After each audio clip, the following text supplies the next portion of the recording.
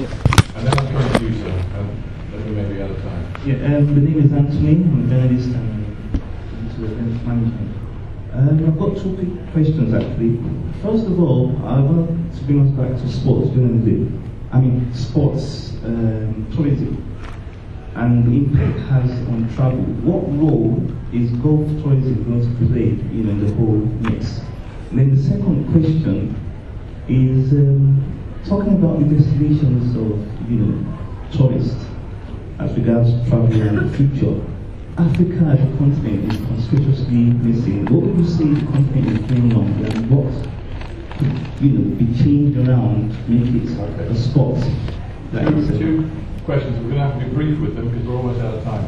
So question number one, uh, when we talk about sports tourism, how important is golf? Come on on that. Um, we very recently in UK Inbound delegation to Colombia, um, a very new emerging market, third fastest growing economy in the world.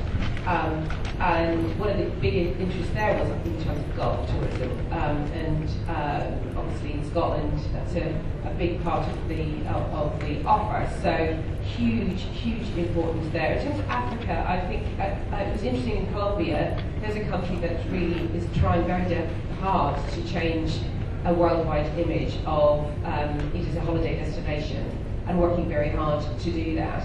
Um, certainly, I think there was no substitute for taking our tour operators there and seeing the product on offer, the opportunities, and working very closely with the airlines in terms of how, how quick it was, how um, how much that was a country on the on the up. Um, we had a lot of support as well from the embassy there, who did a trade mission, and I would say that working with, through the embassies of various countries around the world and supporting both trade and investment in, in partnership with uh, tourism is really key. Certainly one of the things that the Great campaign did was bring um, trade and investment, education and tourism under one umbrella because of the way so many of us, the way we do business, we travel, we we educate our children, we, we think about all these things all together and I think there's probably a lot that other countries can learn around har- you know, harnessing those three strands uh, behind your tourism effort is, you know, to not see these things in isolation.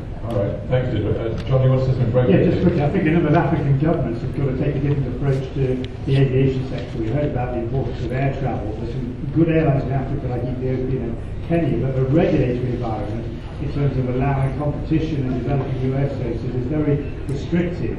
And I think that is a big impediment to developing more tourism. So that is a really important change.